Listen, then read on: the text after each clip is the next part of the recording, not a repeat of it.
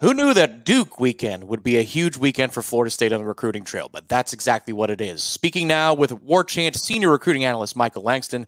My name is Tom Lang, and we are previewing the top players on campus in Tallahassee for a prime time kick on a Saturday night against Duke. Michael, good evening to you, and uh, take it away.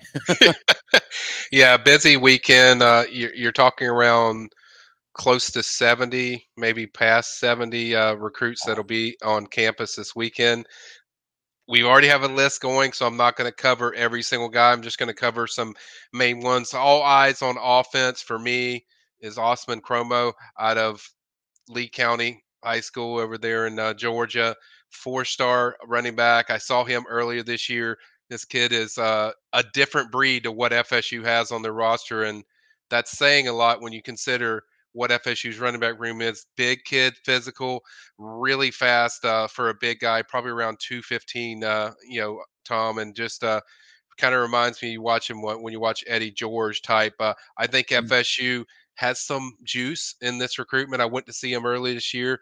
It was pretty obvious how how they're really trending, you know, high for him. I think early on everyone was thinking Georgia, maybe Alabama, but FSU is a team to watch. So this is a massive visit to have him on on campus this weekend. So that's certainly a big name at running back that I'm I'm looking at. Um, people, I guess people can go to the list, but I think another intriguing ma- uh, visitor again is Kobe Howard, 2024 wide receiver out of Western over there in uh, Davie, Florida. He visited last weekend. I think that's certainly significant.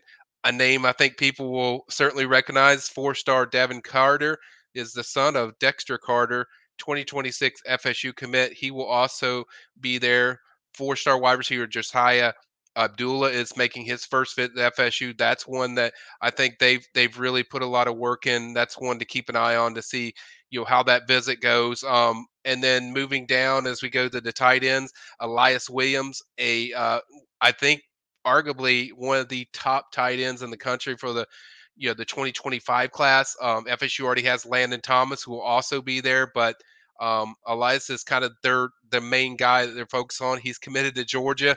Mm. FSU likes flipping Georgia guys apparently, and so they're certainly trying to make another move there. They also have a few other four-star tight ends and Marshall Pritchett and Hayes Kent out of uh, Georgia as well. So those are some guys. And on the offensive line, there's two guys that I'm kind of locked in on. Four-star offensive lineman Mac Buchanan out of Seminole. Been in Sanford, Florida, and then also four-star offensive lineman Solomon Thomas. Solomon is actually probably one of their top overall targets, I think, for 2025.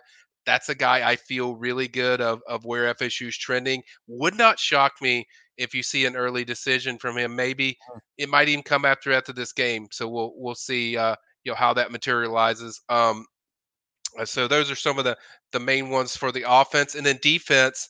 I've already mentioned this guy, and we'll talk a little bit more about him. Artavius Jones, four star defensive tackle. He's visiting. I have him on flip watch just in case. We'll see how that materializes.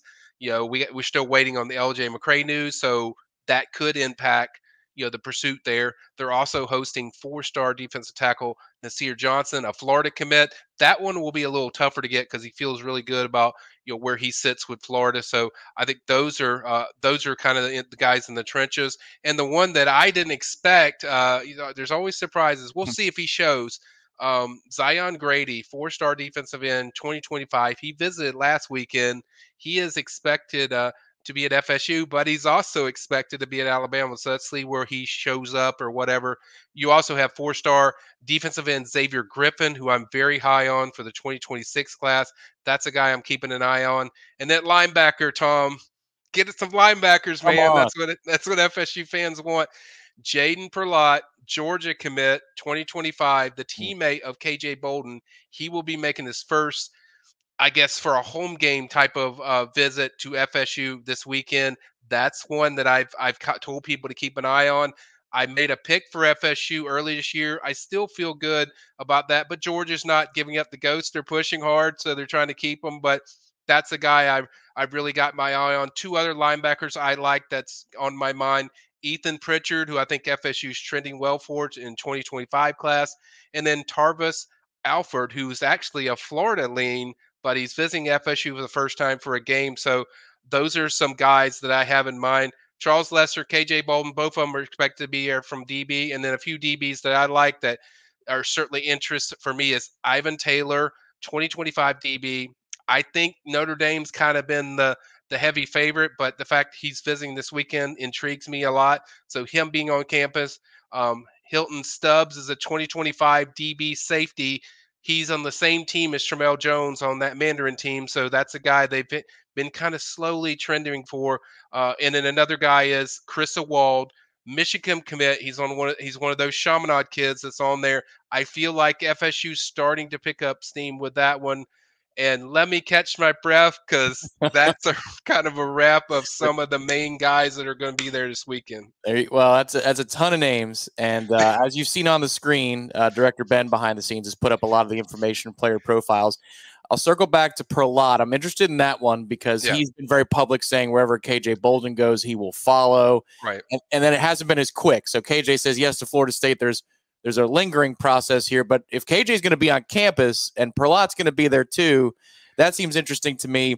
And then one other question I have for you, Michael. This one will get you out on uh, because everybody can find more information about the dozens of kids that are going to be here on the PRB, the Premium Recruiting Board on WarChant.com.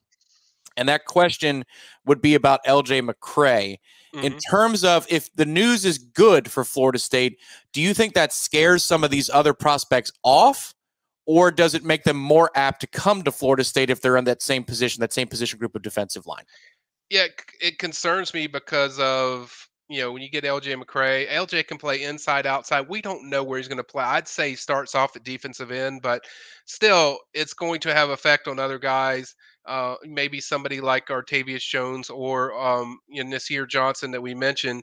I, I think that's kind of my question going the weekend. That's kind of one of my you know key three things to watch. Not to give away my articles, but you know just how is that going to impact? What's going to be the pursuit like if say LJ commits like during the afternoon or something? Yep. You know what's going to be their level of pursuit. So that's kind of something I'm kind of monitoring. So it could impact those other guys just on um, you know, just what it would do. Uh, I think Nasir Johnson, they're going to still have to work regardless. So mm-hmm. that one, I don't know how much it would, but I think Artavius, I feel like there's some momentum, you know, trending with FSU. So you wonder how much they'll pump the brakes or push it forward and say, you know what, we want we don't we want him too because we don't know where LJ could end up. And mm-hmm. then um, and then there's another visitor I'm I'm not at liberty to discuss that's potentially visiting this weekend, but um, people will find out later, but uh, that's another one that could impact, uh, you know, something to do with their, their recruitment and how they recruit other positions. Well, Michael, I hope it's LJ McCray who just shows up, walks to the 50 yard line before kickoff of the game and says, This is where I'm going. Uh, but yeah, uh, yeah. more information is readily available at warchant.com, the premium recruiting board for the details on any number of these kids that are being that are coming to campus this weekend. Michael has the latest for you. We will have you covered throughout the weekend.